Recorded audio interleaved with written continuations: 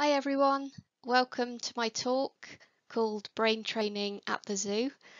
So I hear that a number of people across the world are planning on tuning into this talk live on Facebook or Zoom or are planning to watch it afterwards um, depending on time zones, uh, pre-recorded on Facebook or our YouTube channel.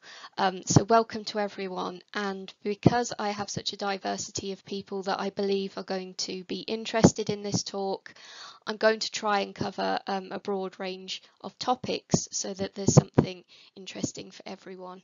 Um, but essentially what I'm going to do is explain some of the research that I have been doing and what it's like to be a zoo scientist.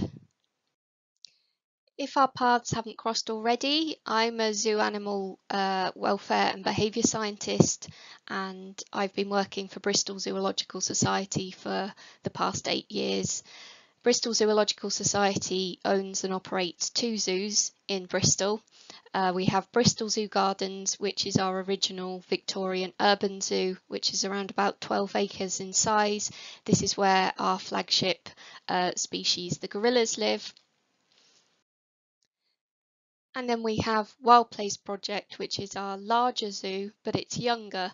So it opened in 2013. This is where we keep our larger animals, but we also house a lot of our lemurs. So in my opinion, I have one of the best and most interesting jobs in the world. I get to develop and run experiments on zoo animals at both Bristol Zoo and Wild Place, and before this, I did so for my PhD, and before that, in a number of other zoos around the world. Um, so, this talk is going to feature stories from primarily um, Bristol Zoological Society zoos, but also a couple of other places that I've worked. And I'm going to try and tell you a couple of interesting things, such as how we discovered that gorillas can do magic and how we realised that the lemurs that we have aren't as stupid as we thought they were. So I'm going to chuck in a couple of bonus stories for you too, but the two main stories that I'm going to cover uh, today are Gorilla Game Lab and Lemur Boot Camp. So I'm actually going to start off with a story from childhood um, and one of my favourite games when I was uh, growing up. I wonder how many of you remember this game. Um, this is something called the, the Tomy Waterfall and it was a, a, game that was around in the 80s. So if you're a child of the 80s like me, you might remember this one. Um, and essentially what you had to do was press that white circular button there, or sometimes they had two buttons, and pressing the button created a, a, a water current inside the, the game, and the water current would move uh, little pieces, little play pieces like rings inside that would hit targets. This particular model here is called the Tomy Ring Toss, and you had to um, maneuver the rings onto pegs um, and that apparently was how you won the game. And I was inspired to to think of a game of my own that meant something to me after visiting an exhibition in London called the Playwell exhibition, which was um, held at the Wellcome Collection um, in March this year, right before we went into lockdown. And the exhibition was fascinating. It was all about the impact of play on our daily lives and our permanent lives as well and just how important it is to play for your well-being and also your cognition. And there were games in there throughout the decades that have been dissected and showed the different cognitive skills that they would challenge and how that linked to your welfare when you played them. And the urge to play, the motivation to play is so strong that the exhibition also had a selection of toys that had been made by refugee children um, out of rubbish, um, which was just really fascinating. Um, so I'm sure you all have an idea in your head as to a toy that meant something to you and that was important to you, and you can remember how it challenged you and how that made you feel. So whether you've got a penchant for puzzles or a craving for a crossword, whatever it is, try and visualize something now in your mind's eye as we move through the next couple of slides that I want to show you. So with that in mind, um, what do these human games have to do with non-human animals? Well, if you didn't know this about me already, um, I design and evaluate large-scale games for zoo animals, and my research is based on the connections between behaviour, cognition and welfare. And actually, I use the abbreviation ABC to refer to those things, so I'm going to try and explain those to you now. So A stands for affect. Affect is another word for your feelings, and feelings um, are essentially your welfare. So this is just another um, abbreviation for, for welfare, basically. Welfare is how you feel, or animal welfare is how an animal feels. Then we have B, which stands for behavior. Behavior is how you act or interact. And then C stands for cognition. Cognition is a tricky thing to define, but essentially cognition is your mental capacities and how you think. Now, because all of that is going on in the brain, we can't actually see cognition, uh, but what we can see is behavior. So if we can observe behaviour, either the behaviour of other humans or the behaviour of animals, we can make inferences about cognition and cognitive skills from that behaviour. And similarly, we can do that with welfare as well. So we can observe behaviour and make inferences about how an animal feels from that behaviour.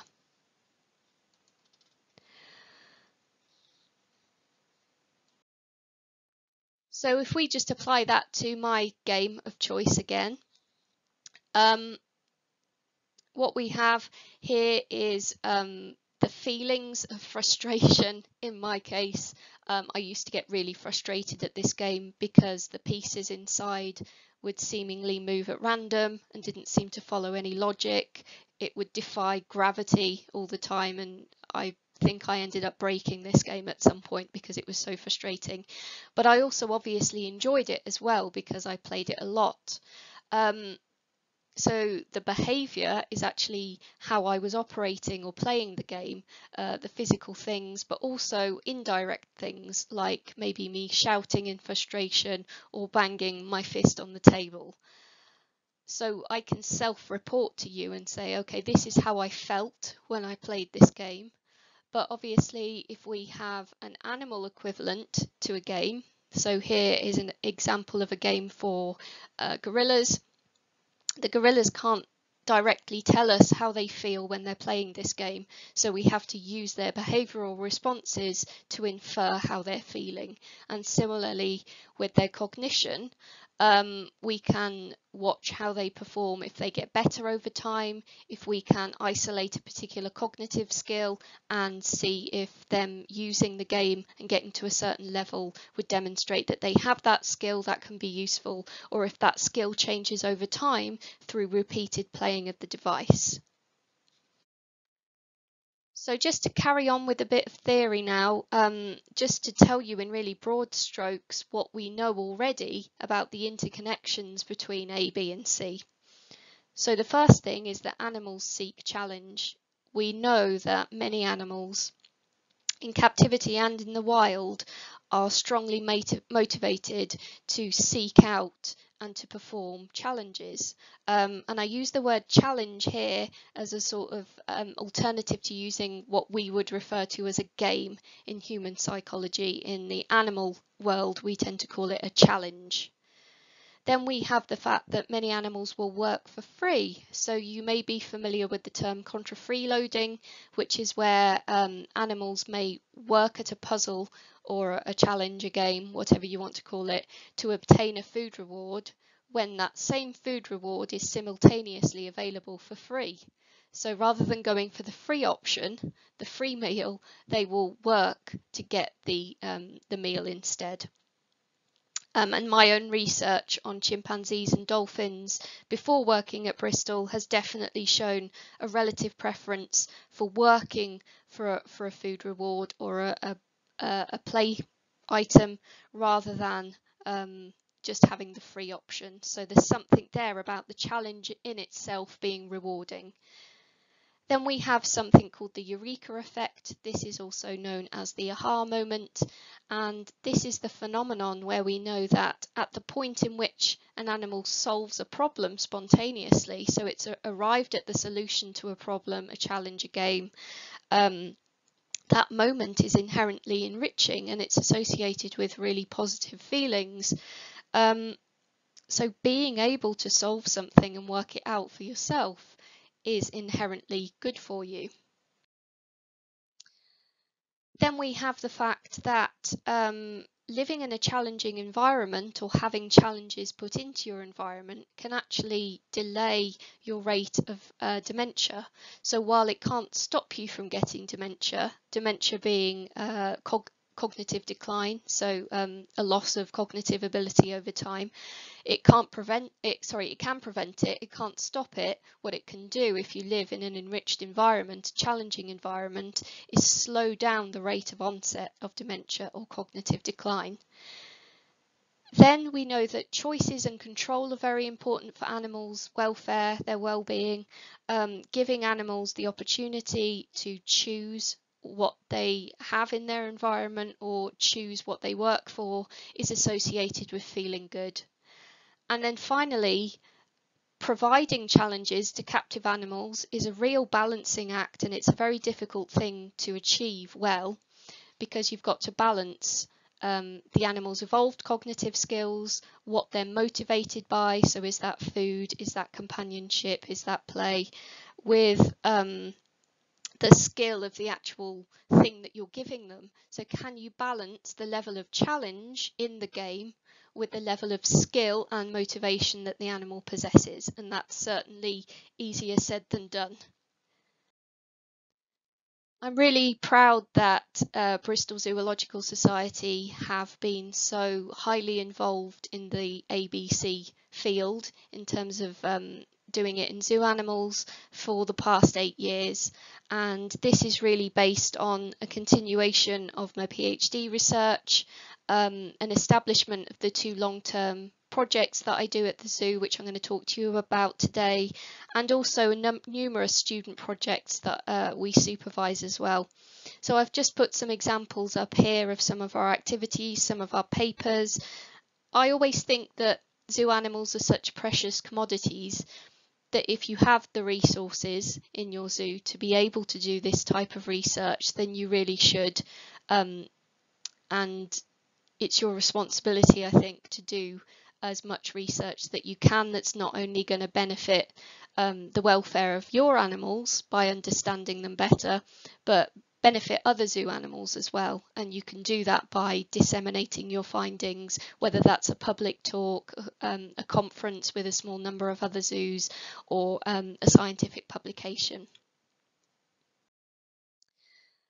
I should probably um, give you a definition of cognitive enrichment because you will have seen it written on the previous slide in a couple of places. So cognitive enrichment is a task which challenges an animal's evolved cognitive skills and doing that task is associated with one or more validated indicators of well-being.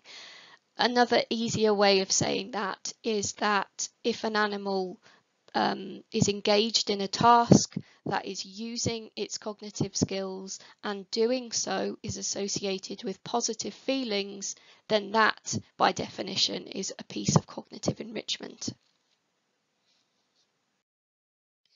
So back to A Tale of Two Stories. Um, so without further ado, now I've armed you with all of that theory, let me tell you about the two ABC projects that we've been running here at Bristol Zoological Society for the past five or so years. So both of these projects are on primates, but that's okay um, because Sir David Attenborough himself said in a recent interview that he thinks that primates are the best. Um, but it, it should be said, let me tell you that ABC research isn't just a primate specific field. Um, you can apply it to any animal. Um, but it just so happens that we've done a lot of work on primates at Bristol Zoological Society because that tends to be what we specialise in as zoos. And we did actually have some bird research planned that was really excited, um, but we had to cancel it due to coronavirus, um, so that's a shame. So um, let's start with Gorilla Game Lab then. So as I stated at the beginning, um, the gorillas at Bristol Zoo are our flagship species and we have a family troop of um, eight gorillas at Bristol Zoo currently ranging in age from one month to 37 years um, and they're just fascinating and brilliant to study.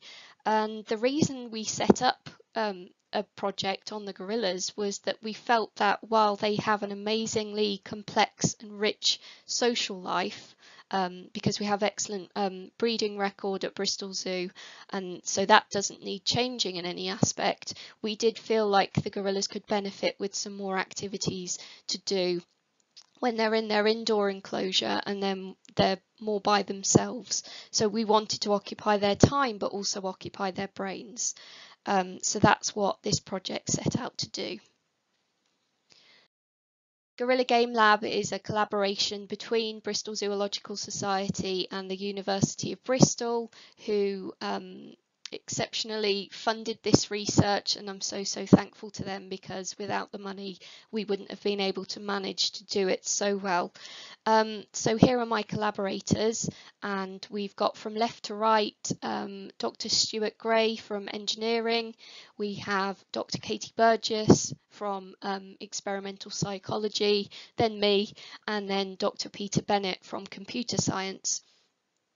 Um, so as a team together, we decided that we wanted to do an ABC project that weaved in um, high technology because of our um, interests and our expertise. And I was so excited because all of the um, games that I've made for zoo animals up until this point have been really low tech, really low budget. I've used things that I found in skips in people's gardens from garden centres, things that were donated. Um, but if we go back to my childhood toy, uh, the Tomy waterfall again, if you think about how that must have been meticulously designed, prototyped, market tested, I think to get a good toy, um, you really need to think about using those same design processes um, for zoo animals as well. So that's what we tried to do with this. The aims of Gorilla Game Lab were to design a new game product and we wanted that game product to challenge physical cognitive skills of our gorillas, occupy their time, um, specifically when they're indoors, not up to much in the day, produce positive experiences, so to produce a more positive welfare state in the gorillas when they're engaging with it. And we wanted to produce a product that could evaluate itself. So typically when we do studies like this where we give animals enrichment objects or apparatus, the amount of hours and manpower that go into recording data, then coding it, um, analysing it, evaluating it, it, it's a lot of work. So we were looking to see whether we could use technological advances to do the hard work for us. So our research process um, is sort of summarised on this slide here. So we began with really extensive background research into gorilla cognition, gorilla welfare, um, gorilla behaviour, so your ABCs, what we knew about those things already. Um, we interviewed the keepers to ask them what they felt the gorillas would benefit from and what their motivations were likely to be. We consulted experts in um, product design and we eventually created this new game um, which then went through two full rounds of testing with the Bristol Zoo gorillas and here it is um, and I hope you can get a sense of what it is from just a small 2D picture. And I will admit this thing is quite difficult to explain and I'm likely to miss something out so do forgive me. But essentially what this is is a modular meta maze um, which is a fancy way of saying that it's one maze um, that contains 12 smaller mazes within one big frame. And all those modules, all of those individual um, square shapes can actually be rotated around inside the frame and not only their positions in the frame, but also their orientation. So you can rotate them um, so that they're at different angles and you can change the positioning of the shelves inside and the dials and everything. And when you do so, you have a staggering 479 million possible arrangements inside this thing. So the chances of the gorillas ever encountering the same maze twice is is basically zero.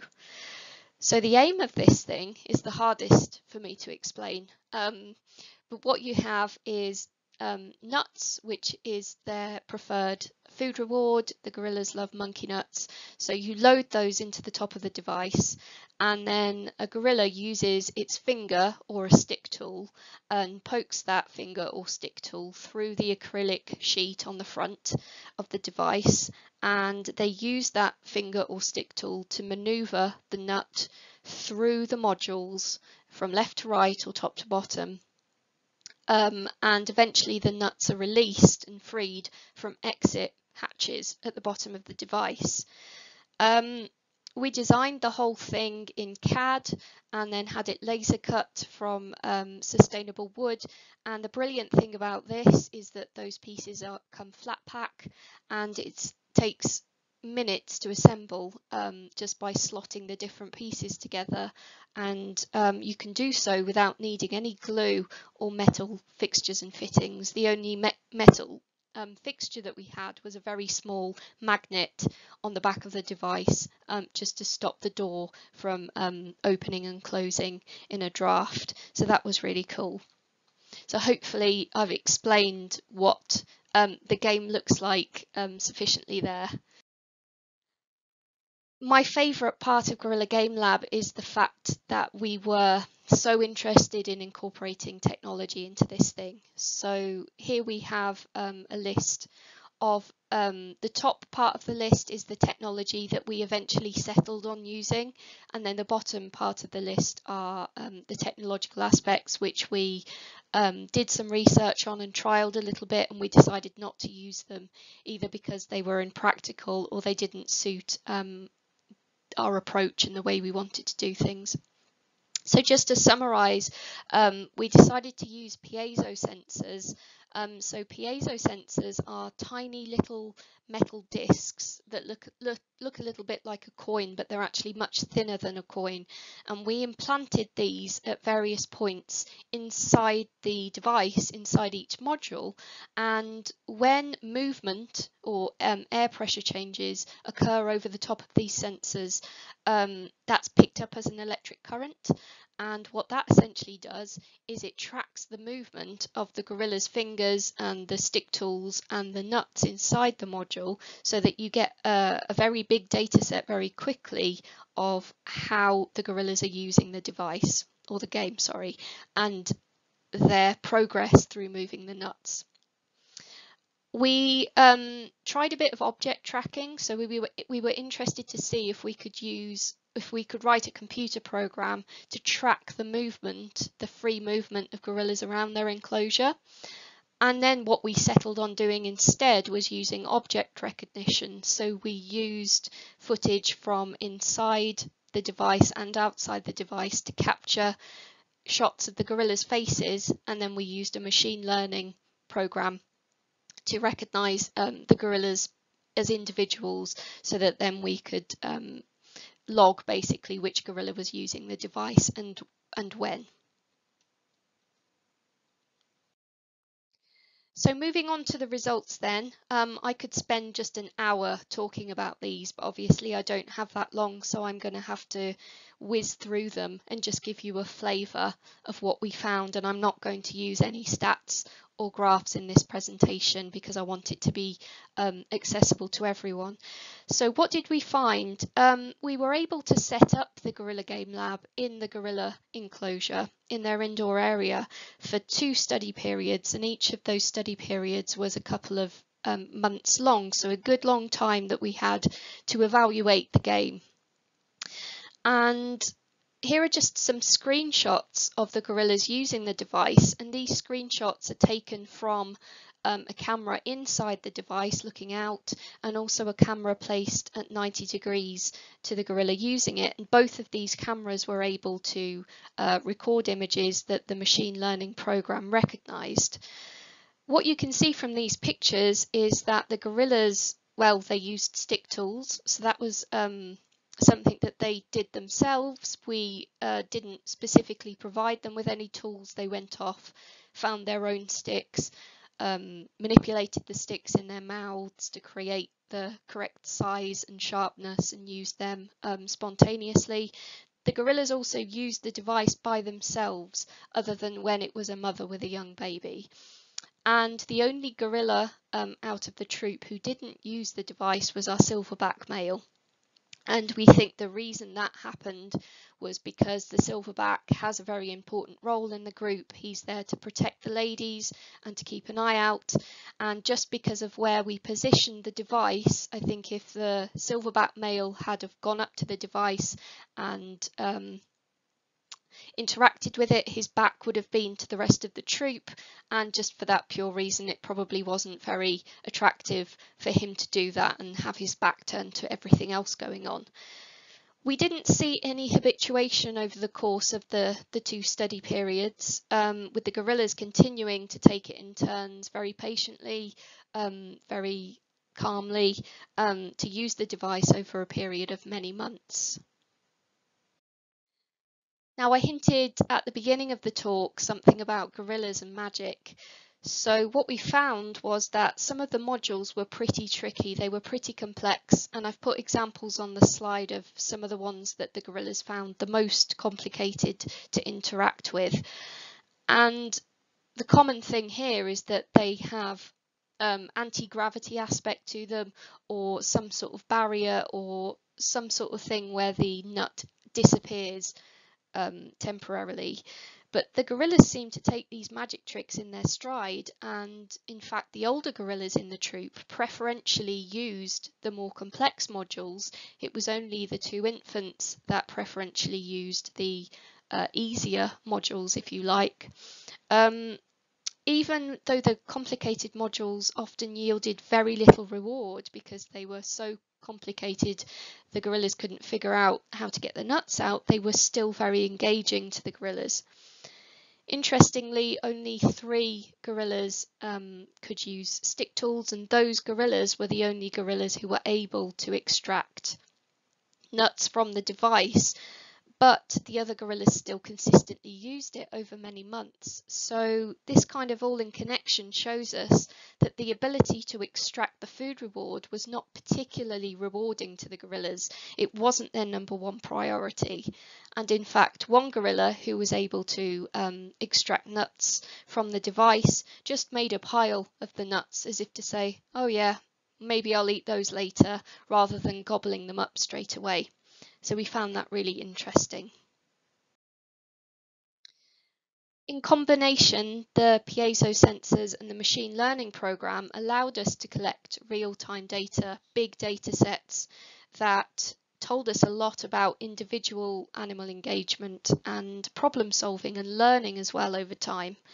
In the top pictures here, we have just screenshots of how the machine learning program was able to detect Jock and Touni and paired with the piezo sensors, we would get an output to say, yep, Jock definitely doesn't use the device, but he approaches quite close, whereas Touni is a real game player. Um, so then we used what's known as the Internet of Things. So the Internet of Things is essentially the game and the sensors inside the game and the cameras and the machine learning program all connected together in a network and they send their information in real time to a website and what this provides is the keepers an immediate um, summary of how that game is being used without us having to watch the gorillas ourselves at all. Um, so you might expect to get an output um, on the keeper iPad that says something like Touni used the game for 15 minutes today and her favourite module was D. And such information is really valuable for keepers because it allows them to keep track of how well that game or that piece of enrichment is operating for the gorillas, if some gorillas never use it, if some gorillas are getting frustrated by it, if the modules need switching up or switching out, um, because keepers and researchers as well just don't have the time to stand there all day collecting this data. So if we can collect it automatically, that's absolutely fantastic. And this isn't actually the only one of Bristol Zoological Society's projects that has machine learning as part of it. If you were um, lucky enough to catch um, Dr. Caspian Johnson's talk, which was last month on our Kordofan giraffe project, you'll know that um, we have a conservation project out in Africa where we're trying to use drones um, to monitor giraffe populations and to do a census or to, to count how many giraffe there are. And um, again in collaboration with the University of Bristol, we're hoping that we can use machine learning to recognise individual giraffes um, if the computer can learn um, their individual um, markings on their on their bodies, their spot patterns. So this is the end of my first big story um, on Gorilla Game Lab, but it's certainly not the end of Gorilla Game Lab. Um, Gorilla Game Lab is currently postponed. Um, it's on ice um, due to coronavirus lockdown, but having this really long lockdown um, has allowed the team and I to really think about the project, to reflect on it, and to think about what we might want to do in future. And i think the consensus is is that we really think that this technology has really important implications not only for the gorillas um, in the future but also other animals that we have in the zoo that we just can't watch all the time if we can develop these technologies a little bit more. I think that's going to have real value to the abc research that we do um, here at bristol zoological society before I move on to my second Bristol Zoo story, um, I'd love to tell you a little bit about um, just a quick bonus story on some dolphins that I worked on for my PhD at a facility in California. Um, so I did my PhD on dolphin and chimpanzee cognition and welfare. And I developed a giant underwater maze.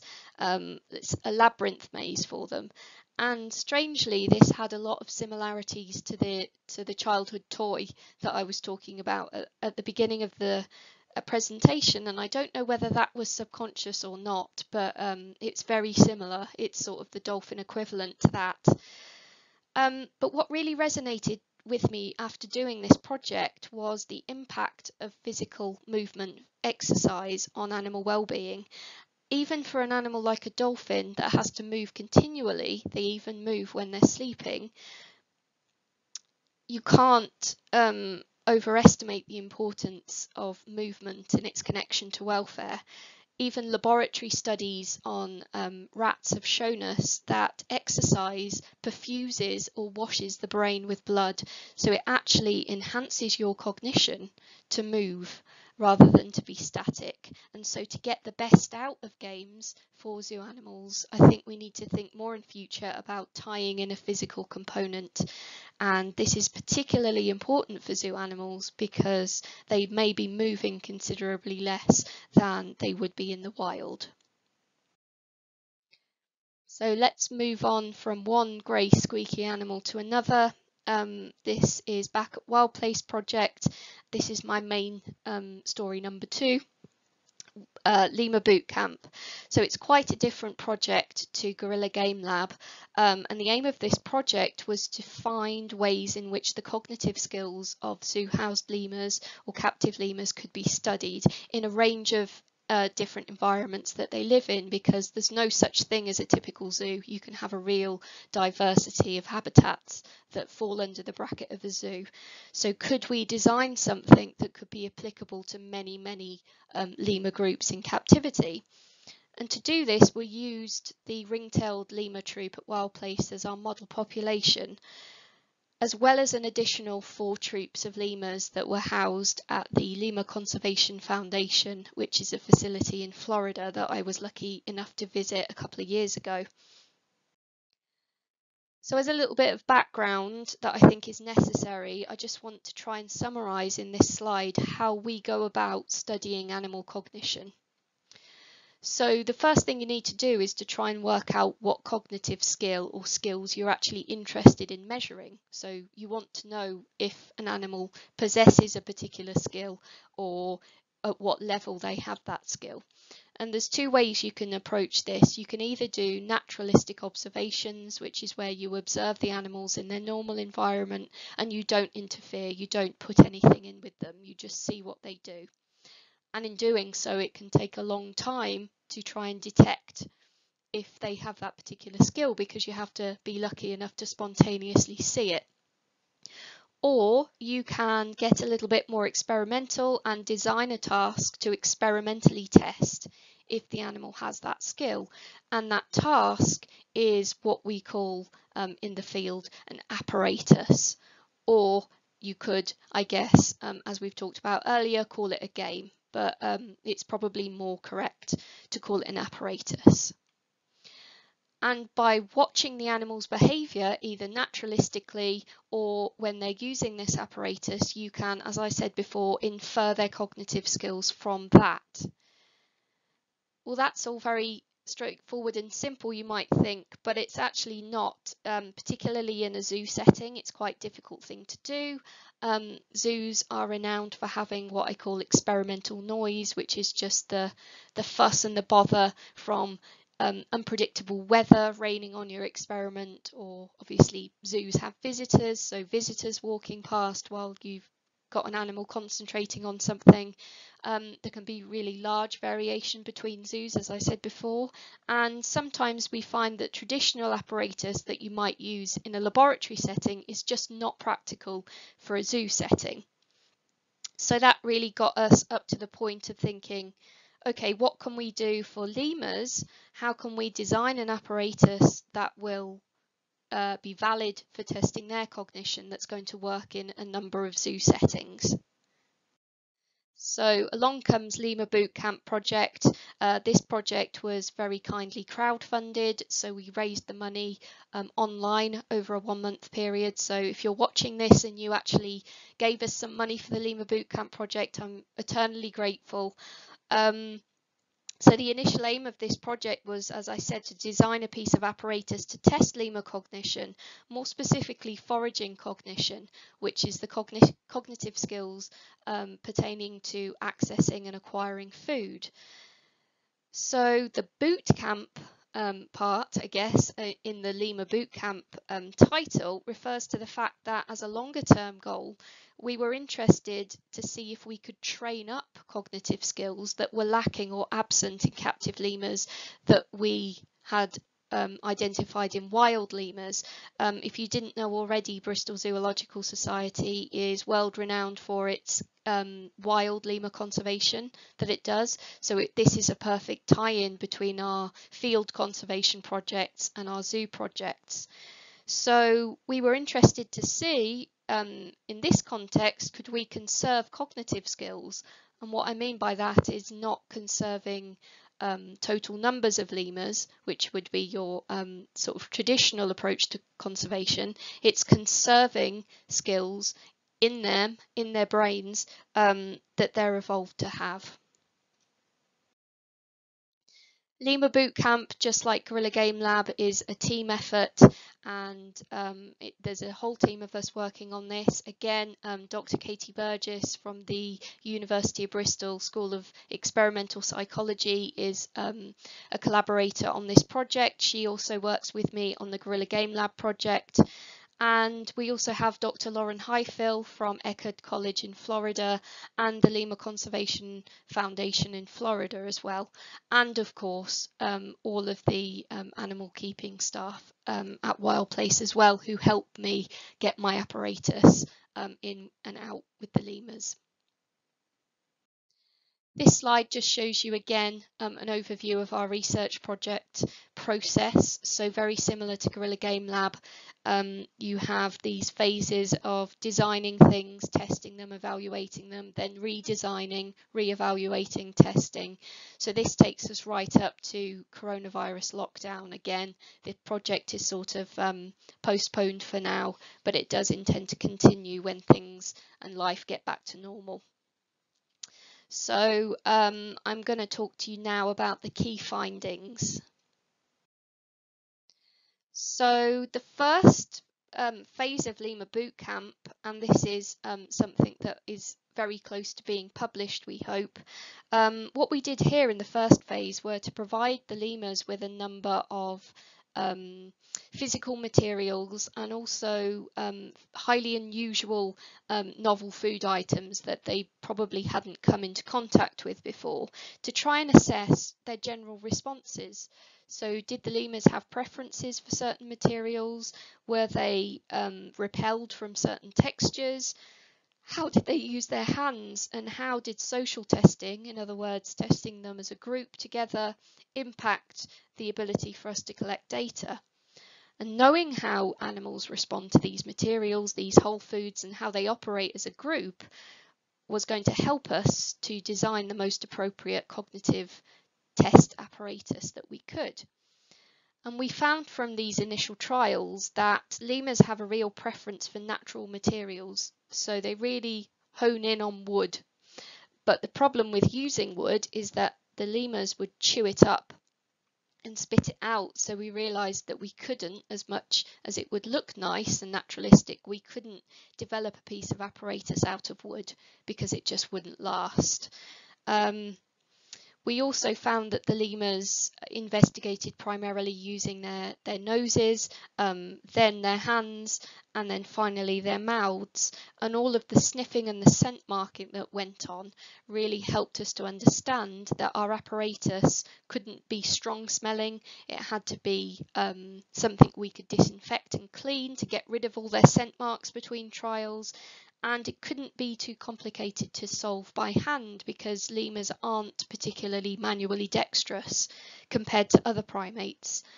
We also found that the way in which lemurs used their hands was really um, impacted by their age. And because ring-tailed lemurs are such a flexible species that are just as comfortable eating above ground as below ground, we had to develop an apparatus that would accommodate plenty of jumping and climbing. So Christmas came early for the lemurs um, with this giant 24 door um, advent calendar. Um, so what this is, it's not a real advent calendar. Um, this is an artificial foraging patch. Um, so there are 24 chambers and each chamber has something behind. 12 or half of the chambers um, behind these doors have the scent of food but no actual food. So what we did was take a piece of food. In this case, the lemurs at Wild Place really love sweet potato. Um, we put the piece of food in the chamber, but we hid it behind a piece of mesh. So the scent was coming through, but the actual physical reward was not there.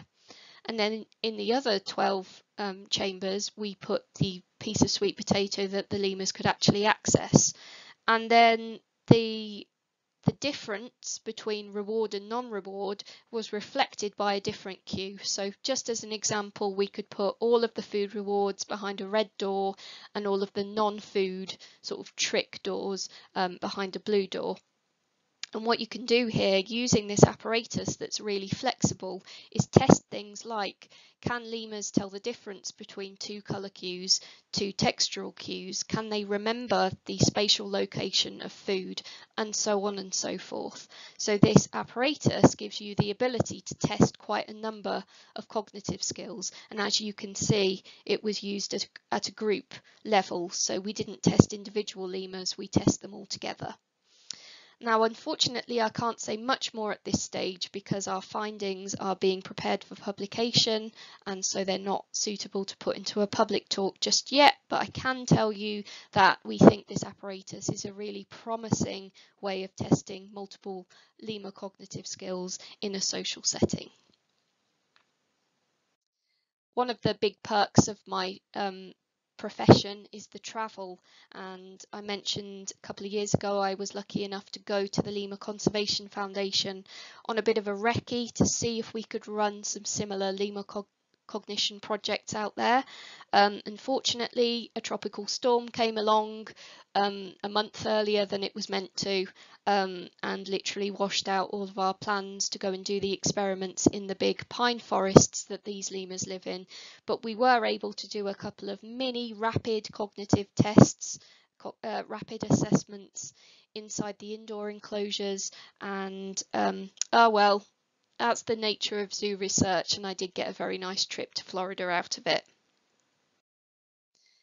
So here's just a picture of um, one of the experiments that we tried to do indoors with the Florida lemurs um, on multiple different groups of different sizes, different social structures, which was really interesting to do a comparison between them and it's a cone flipping task so it's just like the advent calendar but instead of being vertical it's laid flat. And that works fine because ring-tailed lemurs are a very adaptable species.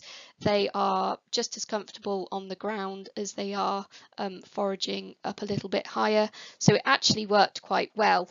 Um, and I think what this shows is that similar to my other enrichment devices so far, modular setups where you can scale up or scale down the size of what you have to fit the enclosure size, to fit the animal size, and to fit the level of complexity that you're aiming for is definitely the way forwards. So in conclusion, can we train the brains of zoo animals? Um, I hope that I've shown you in this relatively quick whistle stop tour of zoo research that we can and brain training can take many forms. Um, challenging the evolved cognitive skills of animals is essentially what brain training is. And whether that's a game designed for enrichment purposes um, or a piece of experimental apparatus, we can even combine both aims. So we could design something that is primarily a type of enrichment, but we can also collect some interesting cognitive data from it, or we can design a cognitive task apparatus that appears to be very engaging and motivating. So I think that by undertaking ABC research in zoos, we can help animals lead a more meaningful, fulfilled and challenged life. And I hope that if you work in a zoo or if you are planning on studying in a zoo, some of this might be inspiring to you. I'd like to give thanks to so many people that work with me on these projects, all of these lovely folk, um, and many of whom I continue to work with at my zoos and further afield. And this brings this brings an end to my talk, um, and I wish everyone the best of health at these um, difficult times, and I look forward to hearing your questions. So I have a question from Claire Pitt, and I'll just read it out to you. Culture is widely uh, recognized in primates. If the apparatus, especially for gorillas, was distributed to other exhibits, would you expect there to be variation in the use of these apparatus, and could it be used to research primate culture? Yeah, for sure. So one of the um, big benefits of the Gorilla Game Lab device is actually um, the plans are available open source. So if you, um, if anyone wanted to contact me and they have um, gorillas at their facility or access to gorillas, um, the plans can be downloaded and taken to um, your local woodwork shop, and they can actually um, print out the bits of wood and slot it together. And because of that, we've got identical copies theoretically of this device that we can test on lots and lots of different gorilla populations. So for sure, we could um, do quite a large multi-institutional study and compare um, the performance of gorillas across um, different zoos and maybe um, a sanctuary comparison would be really nice. I would love to look at um, how gorillas um, that maybe have a lower baseline level of welfare um, respond to this device, whereas um, the gorillas at Br Bristol Zoo have a very good welfare state anyway, and then you add this on top. So I'd love to see um, if animals that are maybe from a more deprived environment um, react more strongly, perhaps. Um, but in terms of maybe studying culture and getting really psychological with it, I think we just have to be a bit wary in a zoo setting where it's not your main aim to see how skills transmit. So maybe if you were looking to do a social learning study, that might not work so well in the type of setting that I usually do my experiments where you test a group because you can't really be sure who which member of the group is watching another member and learning from them as opposed to actually directly solving the problem and, and working it out themselves so yeah i hope that answers your question claire Thank you very much, Fay. We have quite a few good questions coming in, so let's take a few more. Um, a question from Bob. Do you think that current knowledge on human psychology can be used to better understand the cognition and mental well-being of primates? Um, I think actually traditionally that has been the traditional approach. So we, um, if you're a sort of more old school person in, in this field, you probably will be using human psychology already.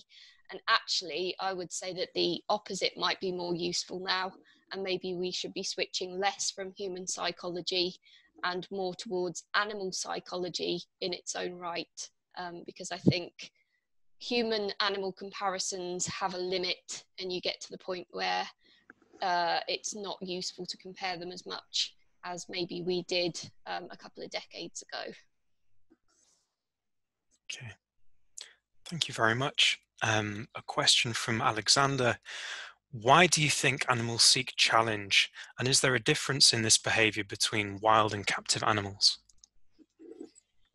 Um, so I'm not too familiar with the wild animal literature, I'll be honest. Um, but in the captive literature, so yes, animals do seek challenge. I think the reason for that is because it's um, it's an inherent need to be to be responsive to challenge. So it's something that's in an animal and just because it's in captivity as opposed to the wild that urge and that motivation and that need to go off and solve problems for yourself is still there. And it, it as it, as has been shown in lots of different animals it's still there even when animals are given food for free and they have thermal comfort and they you know they don't need to find nesting materials because it's provided to them.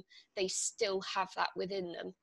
And that is again tied into this idea that i'm really passionate about that these cognitive skills um, should be conserved even in captive animals that don't necessarily need to exercise them as strongly as wild animals do. If we're thinking about reintroducing animals from zoos eventually, maybe not tomorrow, but maybe in a decade, in two decades, it's really important that we help animals hold on to these skills um, and these abilities to solve problems. Thanks, Fay. Do you have time to maybe answer one more question? Sure, go for it. And then um, anybody who has a question that doesn't get answered right now, um, perhaps if you could send us an email, um, we'll take a record of all these questions and I'm happy to pass them on to Fay or you're more than welcome to, to contact Fay directly. If that's all right with you, Fay? Yes. Okay, so last question. Here we go, a fun one. Um, Emma asks, can you see projects similar to this being designed to suit rhinos in captivity designing enrichment items strong enough for them has proven to be challenging. Yes, it has. Um, so I do have colleagues that I could give a shout out to um, who work at San Francisco Zoo, um, who actually developed um, a cognitive enrichment uh, device for rhinos, or it was one rhino, I believe, and it was a, a remote controlled feeder ball. So um, the the researchers could actually control this uh, bull moving around in the rhino's enclosure using their mobile phones. Um, so that's kind of tying in with my dolphin story and the importance of movement. Um, so rather than just having an animal stationary, um, having it move around. And for something like a rhino, which is either going to be a, a browser or a grazer, movement is important to an animal like that. Um, so tying in the element of movement into cognitive challenges um, for a large ungulate, I think is is the way forward. Fantastic. Um, thank you very much again, indeed. That was that was fantastic. Okay, so I am now just going to share the screen for the next talk, which is where? Da, da, da, there we go.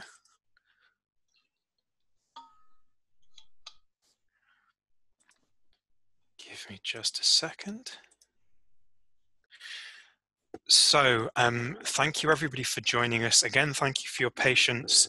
Um, just letting you know that the next Bristol Zoo Conservation talk is going to be the Halloween special. It's going to be horror stories from the field.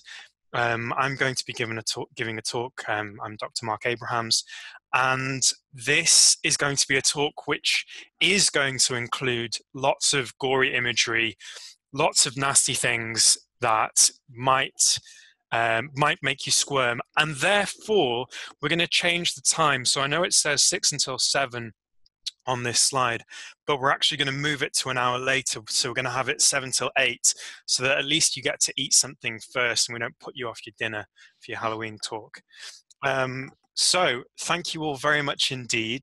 Uh, it's been lovely having you, and I shall see you for the next talk. Bye.